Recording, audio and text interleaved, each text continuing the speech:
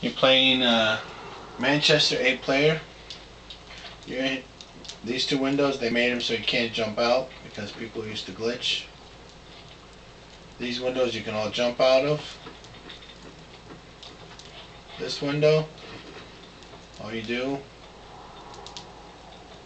is allow yourself to fall down. You catch on this ledge.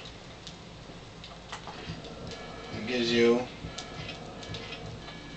a, pretty good view of people sniping way over there. The only disadvantage to this location is when someone from the other team comes around, as they have a tendency to do, and bullseye you.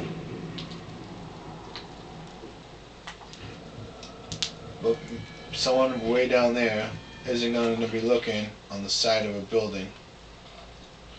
They're going to be looking in the building and they're going to be looking in the front section of that building that has a front and the back door. So you have a good tendency uh, to get a, a snipe or two out of the way um, when people aren't